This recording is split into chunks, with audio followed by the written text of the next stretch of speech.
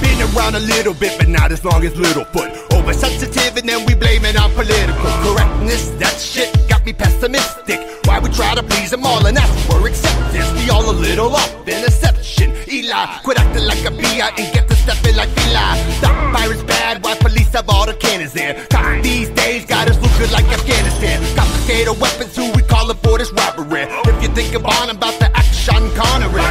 Honestly, these days killing gets so fucking publicized. First your fries, then your goodbyes, and then it got like T.I. R.I.P. then we on to the next. After death, the checking over dinner argument. Presidents, no heaven sent, but blame for your cop outs. Fuck cops out, cause I play a game of knockout.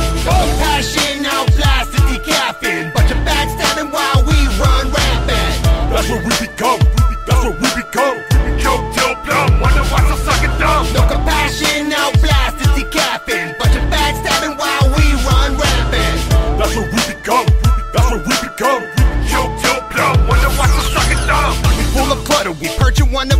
of another. Acting kinda childish.